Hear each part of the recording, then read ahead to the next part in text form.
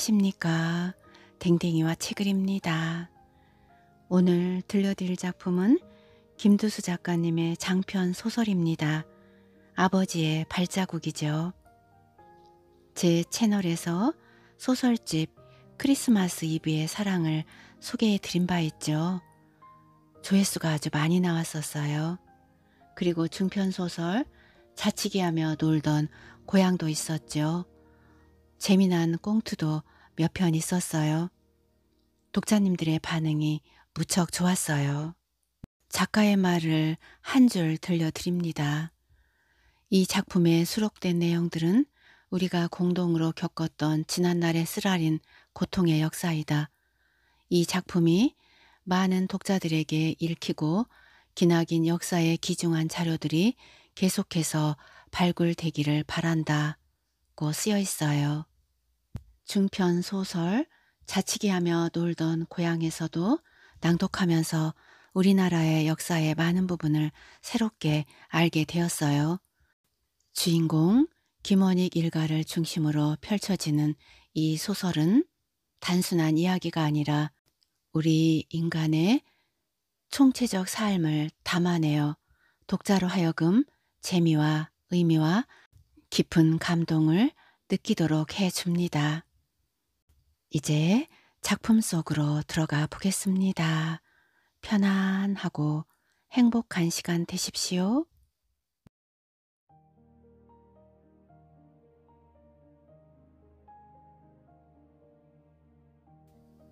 김원익의 고향은 춘천 시내에서 소양강 제2교를 건너서 소양중학교가 있는 마을이다. 이 마을 개울가에는 아주 오래전에 아름다리 가래나무 한 그루가 서 있었는데 어느 해 여름 큰 장마가 지자 나무는 흔적도 없이 뽑혀나가 그 후부터 마을 이름을 가라백이라 부르게 되었다. 이 마을에서 서쪽을 바라보면 북서쪽으로 화학산이 웅장함을 자랑하고 서남쪽으로는 사막산이 멀리 보이는데 여름에 비가 오려면 사막산으로부터 몰려 들어오는 검은 구름대에서 비가 얼마만큼 내릴지도 짐작이 될 만큼 사막산은 마을 사람들의 눈에서 벗어나지를 않고 있다. 눈을 돌려 동쪽으로는 대룡산이 길게 뻗어 있고 춘천 시내의 진산이라고 하는 봉의산이 마주 보일 만큼 이 마을은 사방이 확 트여 있는 지형이기도 하다. 이 마을은 안마을 마장리와 바깥마을 가라매기로 형성되었는데 두 마을을 남북으로 가로질러 화천으로 통하는 신장로가 뚫려 있다. 마장리에 대한 전설은 아득한 옛날에 김씨 조상 부부가 아들을 낳고 보니 겨드랑이에서 날개 쭉지가 생겨 이를 성스럽지 못하다 생각하고 날개를 달궈진 인두로 지지자 아이는 곧 죽었는데 그날 밤 대문 밖에 말 한 필이 달려오더니 흥흥 소리를 지르며 펄펄 뛰다가 죽었다. 아이는 장차 장사가 될 아이인데 죽게 되자 주인 잃은 말도 죽어 동네에서는 말에 대한 장사를 후이 지내고 무덤을 만들었는데 그 다음부터 마장리라 부르게 되었다. 그런데 바깥 마을 신장로가에는 마을을 소외 주기라도 하듯이 몇백 년 묵은 기룩나무 한 그루가 6.25 직전까지 서 있었다. 워낙 나무가 오래되기도 하였지만 반은 길을 향해 누워 있으면서도 상수머리는 하늘로 뻗어나가는 힘이 강해서 신비감마저 갖게 하였다. 그래서 그런지 예부터 이 나무는 성황당으로 모셔지고 마을에서는 봄, 가을마다 성대하게 제를 올렸다. 이 마을은 전형적인 농촌 마을로 양쪽 마을에서 잘 사는 축에 드는 집안은 안마을의 김중수 씨 댁이고 바깥 마을의 부자로는 김승원 씨 댁인데 이 두 집은 농토를 많이 가지고 있어 가을 타작을 할 때가 되면 동네 사람들의 식구들이 다 와서 밥을 먹을 정도로 인심이 후하였다. 이 마을의 호수래야 겨우 안팎마을 합해서 70여 호로 남의 소작을 얻어서 농사를 짓는 집이 대부분이었다. 농사를 짓는 집들은 닭이나 개, 돼지 또는 소 한 마리씩은 길렀는데 이것이 농촌 가용의 돈을 만들 수 있는 유일한 방법이었다. 당시에 대부분의 집들은 초가집으로 가을 수확이 끝나면 지붕을 덮기 위해서 마을 사람들이 공동으로 이영을 엮고 돌아가면서 지붕을 이어주는데 이 행사야말로 마을의 결집을 상징하며 일이 끝나게 되면 서로 음식을 나누어 먹는 것이 풍습으로 계승되기도 하였지만 지금은 그 풍습이 사라진 지 오래되었다. 바깥 마을의 부자라고 하는 김승원 씨네 집은 안채와 바깥채로 나뉘어 집을 지었고 안채 바로 옆에는 유일하게 안채보다도 더 높은 창고를 지어서 가을이면 타작한 곡식들을 천정 높이까지 쌓아 올렸다. 김원익은 이 대게 울타리 뒤에 초가 삼간에 사랑채가 달려있는 집에 살았는데 사랑채에는 젊어서 홀로 된 남준이 엄마가 삼형제를 데리고 살았다. 사랑채는 워낙 오래되어서 한쪽 기둥이 쓰러지는 것을 막기 위해서 기둥 하나를 받쳐 놓았는데 아이들은 그것도 모르고 그 사이에서 술래잡기를 하였다. 김원익 아버지 김범종 씨는 조선조 고종 때 선달 교지를 받으신 집안으로 원익은 삼형제 중 둘째로 태어나 1898년 9월 3일 출생 21살 때 가평 목동리의 의병 서병옥 씨의 맏딸인 서북일 1902년 8월 25일생 17살에게 장가를 들었는데 그때 워낙 집이 가난하다 보니 끼니를 잊기가 어려웠다. 사람이 살아가는 데 있어서 한 끼도 거르지 않고 산다는 것은 매우 어려운 일로 부모님이 생각한 것은 식구를 덜기 위해서 양자를 줄 생각을 하였다. 그때 사북면 원평리에 살고 있는 먼 촌수가 되는 김춘실 씨 댁에서 양자를 구한다는 말을 들으신 선달 아버지는 집에 있어야 먹을 것도 제대로 먹지 못하니 차라리 양자로 가서 밥이라도 실컷 먹으라고 보내기로 하였으니 그때가 김원익이 서북일과 결혼한 지 불과 1년이 겨우 넘은 시기였다. 아들 김원익은 양자라는 뜻도 잘 모르고 머슴을 살러 가라는 것과 마찬가지라는 생각으로 마음에는 없었지만 부모님이 가라고 하니 거역할 수도 없었다. 나를 받아 아들 부부가 떠나는 날 조반을 일찍 먹고 부모님께 인사를 드리고 나서 춘천에서 70리 밖에 떨어진 원평리를 향하여 떠나자 아버지는 기르시던 목다라지 송아지를 아들에게 내주시면서 이것을 미천으로 이 다음에 부자로 살라고 하시는데 눈물이 나왔다. 김원익 부부는 부모님의 배웅을 받으면서 목다라지를 끌고 나서자니 낯선 집으로 팔려가는 당나귀 신세가 된 듯 하염없이 눈물이 끝이 없었다. 초행길이라서 그런지 그 길이 얼마나 먼지 해가 떨어진 다음에야 겨우 원평리에 도달할 수가 있었다. 허술한 집들이 띄엄띄엄 떨어져 있는 이 마을은 낮은 야산에 둘러싸여 있었는데 물어불어서 양 부모님 댁이라고 하는 집 앞에 서서 사방을 둘러보니 첩첩 산중의 마을이라 여기서 살아갈 생각을 하니 기가 막혔다. 대문을 들어서서 양아들 네가 왔다고 하자 안방문이 열리면서 나오시는 분은 양아버지와 양어머니 두 분이었다. 이날 처음으로 뵙는 양아버지는 풍신이 좋으시고 흰 수염을 길게 기르셔서 그런지 선비 같으시고 양어머니는 아버지의 모습과는 달리 키는 잔망하신 데다가 얼굴은 갸름하고 반달 같은 눈썹과 오뚝한 코에 조그만 입을 가지신 모습은 성질이 있을 것 같은 분이었다. 마루에 올라서고 보니 안방과 윗방의 창문은 언제 발랐는지 문종이가 너덜너덜 거리는가 하면 시렁 위에는 거미줄이 석가래 사이로 늘어진 채 파리며 나비들이 잔뜩 걸려 있어 마치 화채간에 들어선 느낌이었다. 세상에 이런 집에서 어떻게 살아왔다는 말인가 하는 생각을 하면서 양 부모님의 뒤를 따라서 안방으로 들어서니 지직은 갈대로 엮은 것이라서 그런지 매우 껄끄러웠다. 아들 부부가 엉거주춤 서 있자 양 어머니가 되돌아서면서 애모답게 한겨울에 문풍지 떨리듯이 새소리가 나게 말씀을 하시었다. 너희들 당초에 이리로 오고 싶은 마음이 없는 것을 억지로 오느라 이렇게 늦게 온 것을 내가 안다. 정 마음에 없다면 이 자리에서 양자를 파괴하고 돌아가도 좋으니 마음대로 해라. 아들 부부는 양어머니라는 분이 이렇게까지 나오리라고는 상상을 하지 못했는데 그러시니 성질이 누구보다도 급한 김원익은 금방 분을 사귈 수가 없어서인지 얼굴이 불그락 푸르락 변하고 있었다.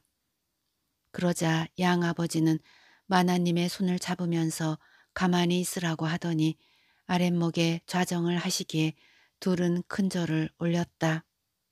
양 아버지는 허허 웃으시면서 너희들이 아들이 되어준다니 고맙고 반가운 일이긴 하지만 오자마자 한 가지 부탁을 하고 싶은 것이 있으니 그것은 다름이 아니라 우리 집은 그 전부터 내려오는 부채가 많아서 살기가 어려운 편이다. 내가 부탁하고자 하는 것은 너희들이 앞으로 품을 팔아서라도 그 빚부터 갚아주기를 바란다. 라고 말씀하시었다. 그 말을 듣는 순간 아무리 집이 가난하다고 하지만 이런 집으로 식구를 덜기 위해서 양자를 보낸 부모님이 원망스럽기도 하고 더구나 이 집을 소개한 분은 무얼 보고 이 집이 잘 사는 집이며 밥은 굶지 않는다고 하였는지 도무지 이해를 할 수가 없었다. 양 아버지의 말씀을 들으면서 눈이 멎는 곳은 횟대로 거기에는 언제 빨래를 했는지 때가 조르르 흐르는 등걸 잠방이와 반이나 뜯겨진 치마와 동정마저 없는 저고리가 걸려 있는가 하면 벽 쪽으로 개놓은 이불자락의 끝은 지가 오줌을 쌌는지 누렇게 발해 있었다. 그런가 하면 아랫목 위목에는 목단꽃을 놓은 기퉁이가 깨진 사기 요광이 놓여 있어 그것을 보는 순간 욕지거리가 나는 것이니 그 요강에서 지린 내가 역하게 배어닿았기 때문이다. 어쨌거나 아들 부부는 양자로 오던 날 밤에 사랑채에서 잠을 자게 되었는데 누가 언제 덮던 이불인지 곰팡내가 나는 이불을 갈자리 위에다가 깔고 자다 보니 얼마나 빈대가 많은지 잠을 이룰 수가 없을 정도로 깨물렸다. 며느리는 이튿날 새벽에 딸이 새기가 무섭게 우선은 밥을 일찍 해서 부모님께 차려드리고 빨래부터 할 생각으로 광이라는 곳에 들어가서 쌀떡이라고 하는 항아리 세 개를 열어보았지만 두 항아리에는 아무것도 없고 단지 세 번째 항아리 밑바닥에 깔려있는 것이 있어서 바가지로 긁어보니 그것은 쌀도 보리쌀도 아닌 짐승이나 먹는 호밀쌀이었다. 혹시 다른 항아리라도 있는지 찾아보았지만 항아리는 보이지 않고 한쪽 구석에 나무 괴짝이 있어서 열어보니 괴짝 안은 비어있고 역한 냄새가 치올라왔으니 필경은 지가 들어가서 썩은 것 같았다.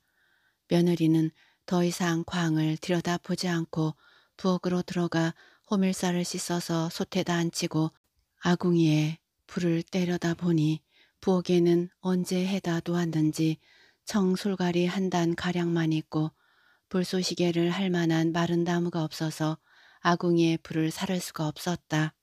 산골이라 문만 열고 나가면 맨 나무인데 물기 가득한 청솔가리만 부엌에 있으니 당장 신랑에게 마른 나무부터 해오라고 해야 할 판이었다. 며느리는 어제 이 집으로 들어올 때 바깥마당에 집가리를 본 기억이 나서 얼른 짚을 몇 단 가져와서는 억지로 불을 살라 조반을 해서 부모님께 차려드렸다.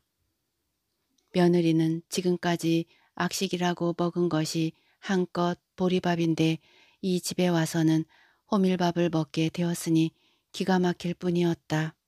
게다가 식구는 네 사람인데 호밀쌀도 한 이틀을 먹게 되면 그것마저 떨어질 것 같아서 당장 먹을 양식을 구하는 것이 급선무여서 며느리는 장리쌀이라도 구할 수가 있으면 그 방법을 쓸 요량을 하였다. 사실 아직 나이 겨우 20대 신랑은 먼저 집에서는 아무 음식이나 가리지 않고 잘 먹던 사람이지만 이 집에 와서는 호밀밥이라는 낯선 밥을 처음으로 먹게 되자 소화가 되지 않고 속까지 메스꺼워서 더는 먹지를 못하겠다고 하였다.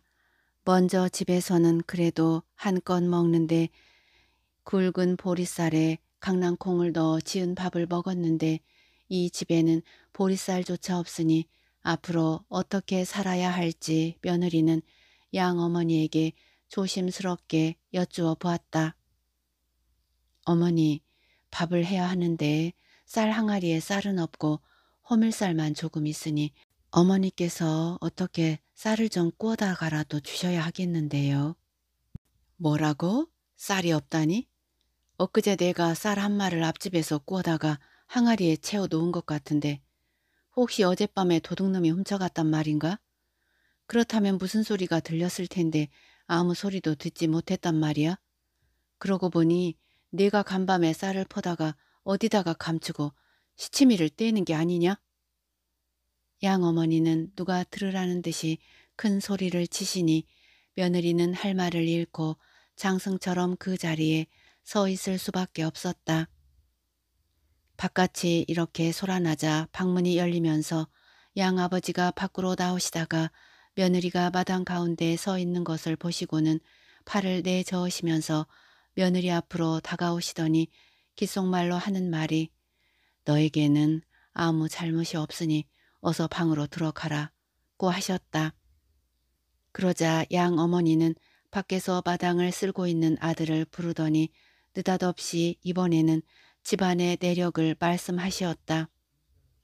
내가 우리 집안의 내력을 얘기한다면 그래도 선대까지 양반 소리를 듣다가 시아버님이 하도 투전을 좋아하시고 소실까지 두시는 바람에 집안의 농가 밭을 다 팔아먹다 보니 이렇게 쫄딱 망한 꼴이 되긴 하였지만 그렇다고 체면까지 버리지는 않았다.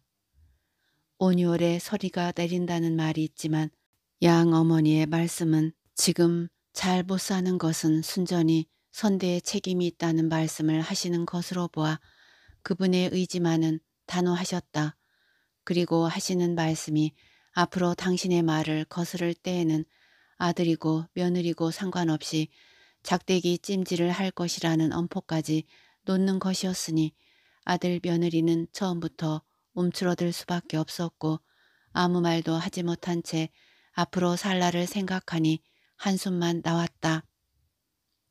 그러나 당장 어쩌겠는가 며느리는 다음 날부터는 우선 안방에 걸려있는 등걸 찬방이며 저고리 치마를 한꺼번에 게을로 이고 가서 말끔히 빨아서 널고는 집으로 돌아와서 방바닥에다가 물을 뿌리고는 빈대가 있을 만한 곳에는 끓는 물을 퍼부어서 빈대를 소탕하고 마루에 걸려있는 거미줄은 모조리 쌀이비로 쓸어서 황답불 속에다가 집어넣자 화경처럼 불길이 솟으면서 속까지 후련하였다.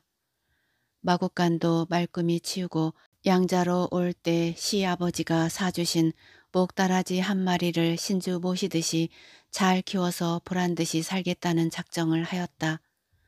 그런데 그렇게 집안을 다 뒤집어 놓다시피 깨끗이 청소를 했는데도 양어머니는 아무 말도 하지 않더니 저녁에 두 내를 불러 앉혔다. 부부가 방으로 들어가자 양어머니는 시아버지가 투전판에서 잃어버린 땅을 찾고 싶은데 우선은 돈이 없으니 너희들이 끌고 온 송아지를 팔아서 땅을 마련하자고 하였다. 양자로 들어온 지 며칠 되지도 않고 새로 맞이한 아들 며느리를 귀하게 여기기는커녕 돈이 필요하다는 이야기부터 꺼내는 양 어머니의 말씀은 참으로 어처구니가 없었다. 아들인 원익은 원래 말이 없는 사람이라 잠자코 있을 것을 알고 있던 며느리는 신랑의 얼굴을 잠시 살펴보다가 말씀을 드렸다. 어머니, 이 송아지는요, 절대로 팔 수가 없는 재산입니다. 왜냐하면 저희가 양자로 나올 때 시아버지께서 빚을 내서 송아지를 사서 주셨는데 이 소가 황소가 되면 팔아서 일부는 저희들이 쓰도록 하고 원금은 그대로 돌려드려야 하기 때문입니다.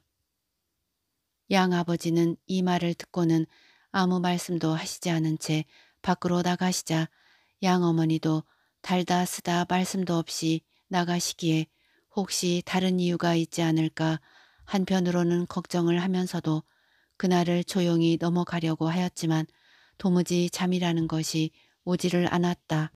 다음 날 새벽 원익은 잠을 제대로 자지는 못하였지만 조반을 일찍 먹고 산으로 나무를 하러 갈 셈으로 밖으로 나와서 마구간으로 가서 보니 우리 안에 서서 있어야 할 성아지가 보이지 않았다.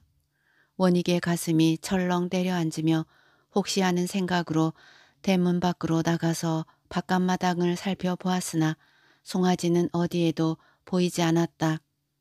원익은 지체 없이 안채로 뛰어들어가서 안방의 문을 열었다. 아버지. 방문을 활짝 열고 큰 소리로 불러보았지만 두 분의 대답은 들리지 않았다. 어제 저녁 늦게까지도 호롱불이 켜져 있는 것을 보았는데 그렇다면 밤사이에 어디로 가셨다는 말인가. 원익은 사랑방으로 가서 부인을 깨웠다. 여봐요. 송아지가 없어졌어요. 우리가 길러야 할 송아지가 감쪽같이 없어졌단 말이요. 그런데 방금 전까지 방에 있던 사람이 대답을 하지 않았다. 이 시간에 갈 데가 없는데 사람이 없어졌으니 이건 또 무슨 일이란 말인가. 원익은 혹시나 하고 바깥마당 멀찌감치 있는 변소에 가서 보니 아내가 거기에서 설설 매고 있기에 왜 그러냐고 물으니 새벽에 배가 살살 아프기 시작하는데 도저히 참을 수가 없어서 변소에 와 있다고 하였다. 원익은 아내를 억지로 쪄 잡아들여 방 안에 눕히고는 꿀을 찾아서 진하게 물을 타서 먹이니 순식간에 속이 후련하다고 하였다. 원익은 그제야 생각을 하니 하루 전날 나무를 해가지고 늦게 집으로 돌아오다가 바깥마당에 웬 낯선 남자가 서 있는 것을 본 생각이 났다. 아무래도 송아지가 없어진 것과 그 사람과 무슨 관계가 있는 것은 아닐까 하는 생각을 하고 있는데 중얼거리는 소리가 밖에서 들려 문을 열고 보니 양 아버지와 양 어머니가 어디를 갔다가 대문 안으로 들어서고 있었다. 원익이 밖으로 나오면서 어디를 식전에 갔다 오시냐고 하니까 양 아버지의 말씀이 구슬하는 집에서 오라고 해서 떡을 먹고 온다고 하셨다. 원익은 송아지가 없어졌다고 하자 양 어머니가 대뜸 희한한 말씀을 하셨다. 송아지가 없어지다니 혹시 너희가 팔아치운 게 아니냐? 어머님, 그게 무슨 말씀이세요? 우리는 아침에 이웃에 사는 홍서방네 감자를 캐고 강낭콩 밭을 매느라 하루 종일 일을 하고 저녁 늦게 집으로 돌아와서는 고단에서 그대로 쓰러져 잤는데 우리더러 송아지를 어떻게 했다니 그것은 말도 되지 않아요. 그러자 양 아버지가 눈금치기를 하면서 아들 며느리를 불러서 하는 말이 송아지를 빚쟁이가 와서 밤중에 끌고 갔다고 하였다. 양아들로 들어가게 되면 호강을 할 것이라는 막연한 기대를 하고 왔는데 가지고 온 송아지마저 빚쟁이가 끌어갔다니 할 말이 없었다. 원익은 성질대로라면 당장 모든 것을 때려 엎어버리고 싶었지만 그럴 수는 없어서 억지로 참고 말았다. 양아들로 온 지 겨우 한 달도 되지 않았는데 이렇게 절망스런 일이 벌어지고 말았으니 부부는 허벌판에 허수아비 신세가 되었다. 며칠간을 속을 끓이면서 앞니를 생각하였지만 뾰족한 수라고는 아무것도 없었다. 그날 또 잠이 오지 않아서 이리저리 뒤치락거리던 중에 겨우 잠이 들었는데 밤중이 되었을까 잠결에 문 밖에서 무슨 소리가 나기에 벌떡 일어나서 문을 열어 제치자 마루에 무엇이 쿵 하고 쓰러지기에 자세히 보니 그것은 사람이었다. 누구야? 원익이 벼락같이 소리를 지르면서 다가서자 그는 다름 아닌 양어머니였다. 어머니가 이 밤중에 여긴 어쩐 일이셔요? 예? 그러자 쓰러졌던 어머니는 한참 만에 겨우 대답을 하셨는데 마루에 나가 떨어지다 보니 몸이 매우 아프신 모양이었다. 자다가 보니 웬 지혜 소리가 나기에 나왔는데 양 어머니는 얼버무리셨지만 아들 며느리가 양 부모님에 대해서 무슨 말이라도 하는 것은 아닌가 하고 엿듣기 위해서 오신 것이 틀림없었다. 일이 이렇게 되자 김원익은 더욱 삶의 의욕을 잃어버리게 되어 당분간 어디라도 나가고 싶은 생각이 들고 어떻게 하던지 헤어날 길이라는 것은 돈을 벌어야 하는데 시골에서 품앗이나 해 가지고는 고생길에서 도저히 벗어나질 못할 것 같아서 다른 방법을 생각하다가 묘안을 한 가지 찾아대었다. 그 묘안이란 우선 돼지를 길러서 팔게 되면 얼마의 목돈을 질 수가 있을 것이라는 생각에서 돼지 새끼 한 마리를 한 달 동안에 품을 팔아 갚기로 하고 미리 돈을 꿔서 사왔다. 그러자 양 어머니는 냄새 나는 돼지를 집에서 못 기른다면서 반대를 하여 할 수 없이 애따로 떨어진 산 밑에다가 돼지우리를 짓고 기르기로 하였다. 돼지우리를 집에서 한참 떨어진 곳에다가 지어놓고 나서 기르려니 일일이 손이 가기가 쉽지 않았다. 더구나 새끼 돼지라 애딴 곳에 있는 것이 애로워서 그런지 밤낮 없이 꿀꿀 소리를 지르는 것이 불쌍하기까지 하였다. 부부는 시간이 나게 되면 풀을 베어다가 주기도 하고 자주 물도 떠다가 주니 사람이 가기만 하면 어린아이처럼 좋아서 그러는지 돼지우리의 기둥에 매달려서 도리질까지 하였다. 그 당시에 돼지의 먹이는 등뼈가 아닌 풀들을 베어다가 주었는데 먹이가 되는 풀은 얼마든지 구할 수가 있어서 시간이 나기만 하면 풀을 베어다가 주기도 하고 보리쌀을 씻은 뜨물을 잔뜩 퍼다 주니 한 달이 지나고 두 달이 지나자 어느 정도의 살이 오르기 시작하였다.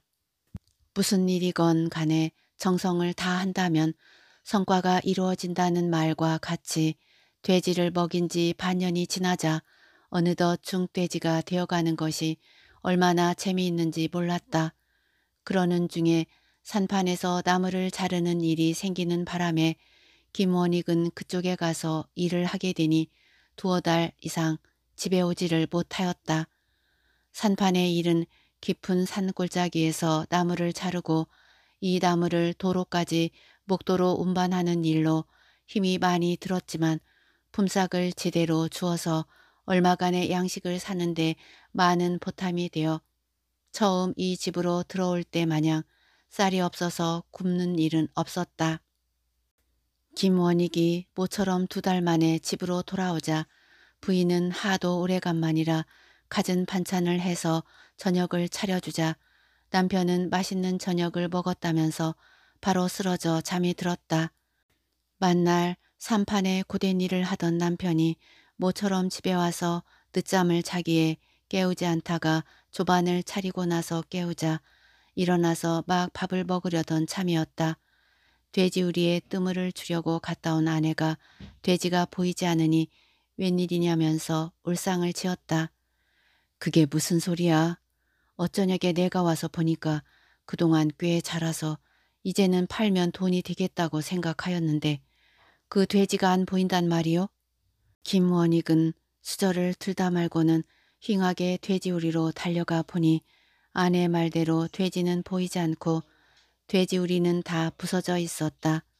그 모습을 보자 가슴에서 불이 확확 타오르는 것처럼 화가 치솟아 배길 수가 없었다.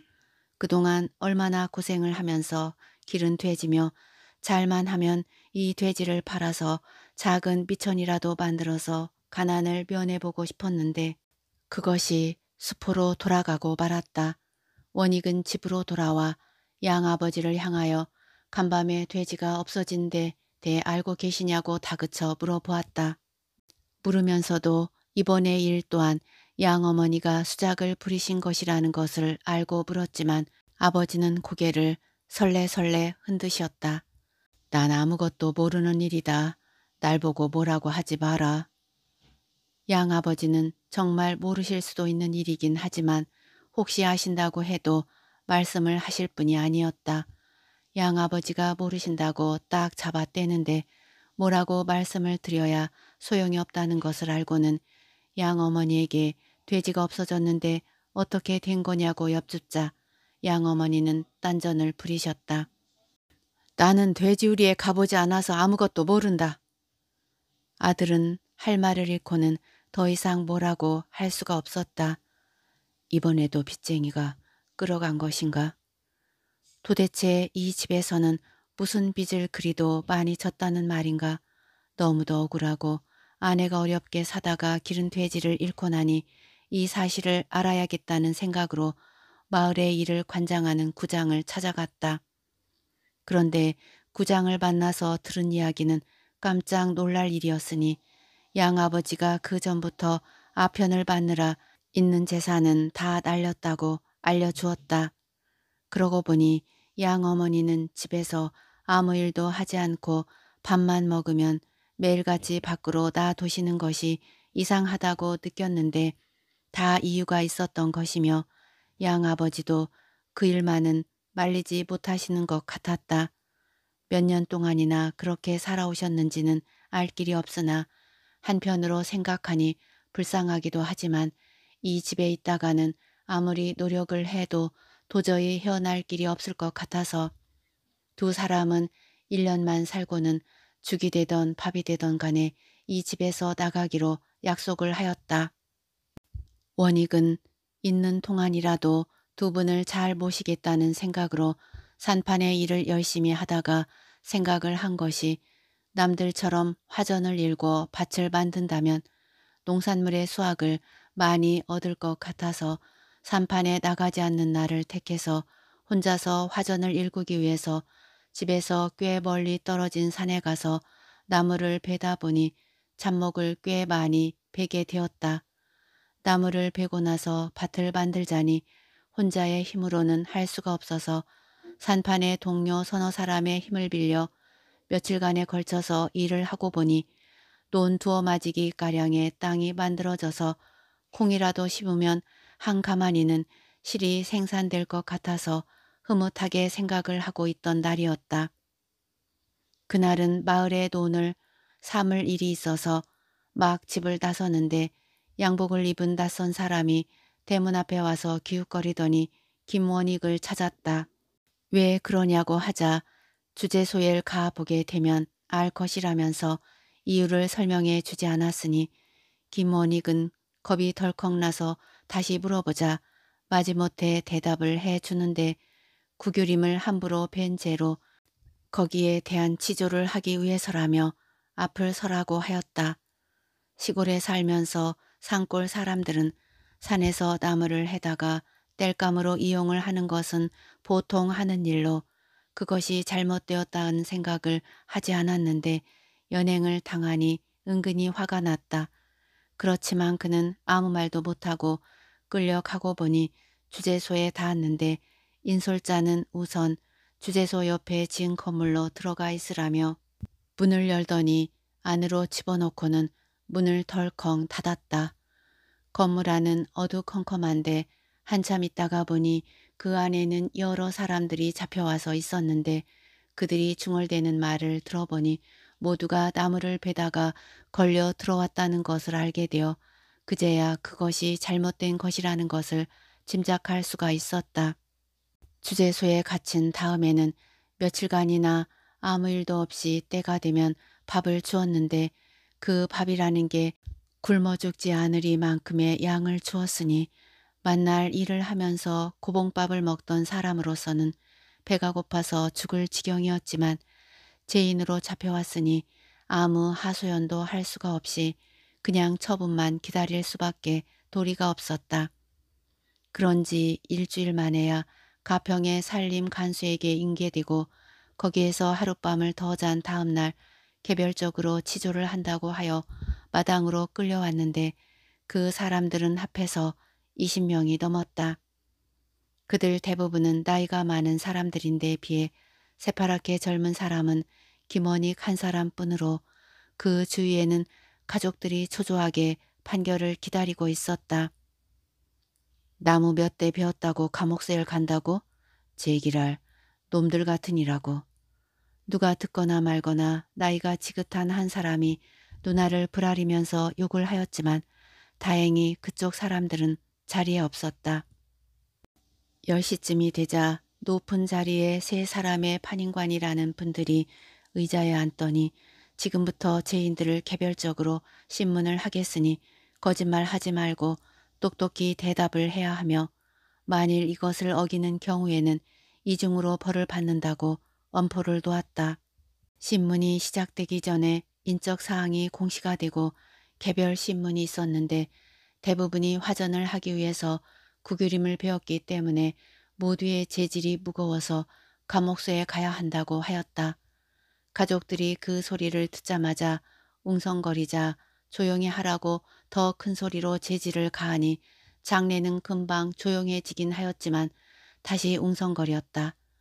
여기에 붙들려온 사람들은 대부분이 시골 사람들로서 농사를 짓거나 잔판에서 노동일을 한 사람들이니 배운 것도 없으려니와 먹고 살기가 바쁘다 보니 남이 나무를 잘라 화전이라도 한다고 하자 그것이 잘못인 줄도 모르고 나무를 많이 벤 사람도 간혹은 있었지만 김원익처럼 나무 몇 그루 베지 않은 사람들도 여러 명이 섞여 있었다. 그런데 대부분이 이번 신문에 대해서 답변을 제대로 하는 사람이 한 사람도 없었으니 신문자의 의압에 눌려 그랬을 것이다. 마침내 김원익의 차례가 되어 나이를 묻더니 나무를 몇 그루 베었느냐고 묻는데 전혀 답변을 하지 못하고 벌벌 떨기만 하였다. 신문관이 할 말이 없느냐고 하였지만 답변을 제대로 하지 못하자 다음 사람 하는데 가족 속에서 손을 드는 사람이 있었으니 그는 바로 방금 답변을 하지 못하던 김원익의 처 서북일이었다. 그래 무슨 할 말이 있는가? 예, 아래옥기 황송하오나 저는 김원익의 처되는 사람으로 워낙 살림이 어렵다 보니 시댁에서 친척되는 집안으로 양자를 가게 되었습니다. 로 시작을 하여 송아지까지 빚으로 넘어간 이야기며 어떻게 하든지 살아보고자 아무것도 모르고 함부로 나무를 벤 잘못에 대하여 벌을 받아 마땅하나 아직 나이도 어리니 용서를 해 주신다면 앞으로 절대로 나쁜 짓은 하지 않고 살아가겠습니다. 라고 아뢰었다. 그러자 신문관들이 그 이야기를 듣고는 한참 동안이나 자기들끼리 무슨 이야기를 주고받더니 잠시 후에 한 신문관이 위험 있게 일어서더니 말을 열었다. 오늘 여기 온 죄인들의 신문을 하는 과정에서 알게 된 것은 죄인들이 국유림 베는 것을 전혀 죄로 생각지 않았다는 것을 알게 되었다. 그러나 아무리 살기가 어렵다고 하더라도 법에 어긋나는 일을 해서는 안 되는 일임에도 죄인들은 자기네 것도 아닌 국유림을 무단으로 훼손한 죄는 용서받지 못할 일이다. 하지만 방금 한 안악내 사정을 자세히 듣다 보니 너무 딱하기도 하고 동정의 여지가 있기에 이번 사건의 재질에 대해서는 모두에게 불문에 붙이기로 하였다. 따라서 앞으로 다시는 이러한 죄를 짓지 말고 정직하게 살아가기를 바라며 오늘의 신문을 마친다. 그 말을 끝으로 신문관들은 각기 자리에서 일어나 퇴장을 하였지만 불문에 붙여진 당사자들은 어리둥절한 채 자리에서 일어나지를 않았다. 그러자 신문을 주관하던 분이 가다 말고 돌아서서 이제 모든 신문이 끝나 무혐의 처분이 되었으니 자유롭게 돌아가도 좋다는 설명을 해주자 그제야 모두는 자리에서 일어났는데 그들의 얼굴에는 안도의 기색이 역력했으며 일제히 김원익 부부에게 다가와서 손을 잡으면서 고맙다는 인사를 주고받았으니 사람이 살아가는 데 있어 이런 일이야말로 드문 일 중에 하나였다.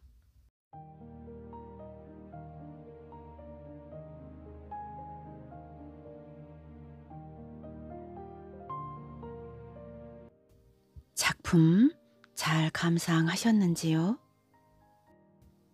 안타깝기 그지없어요. 해도 해도 너무한다는 말은 이럴 때 쓰는 거겠죠. 빚내서 사간 송아지 한 마리가 그렇게 아까울 수가 없네요. 돼지도 마찬가지고요. 양 어머니라는 작자는 앞날이 후원하네요. 굶어 죽지 않는 게 신기할 따름입니다. 양 아버지는 마약까지 하는군요. 원익에 처 서북일이 한몫했네요. 양부모 집에 더 머물러서는 안 되겠어요. 그곳에서 나오는 길만이 살 길이겠죠. 원익 부부는 앞으로 어떤 선택을 할까요? 만약 앞으로도 양 부모 집에 머물게 된다면 저는 화가 치밀어서 낭독하는 일도 힘들 것 같아요. 소설적인, 가장 소설적인 작품을 써주신 김두수 작가님께 감사함을 전합니다. 장편 소설입니다. 먼 여정이지요. 끝까지 함께 해주시리라 믿습니다. 좋아요를 눌러주시면 작가님께 힘이 됩니다. 구독과 댓글은 감동입니다. 끝까지 함께 해주셔서 고맙습니다. 다음 이야기 2화에서 다시 만나요.